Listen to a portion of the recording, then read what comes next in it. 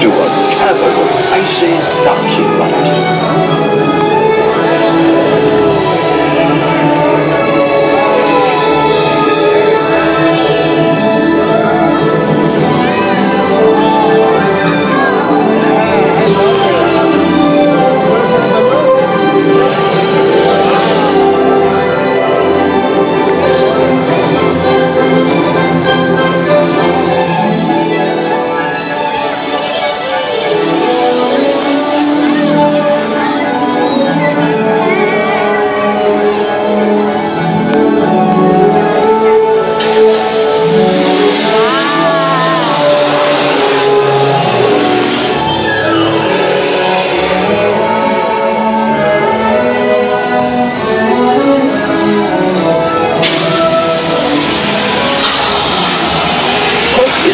Grown up and he ventures out into a world of the sea.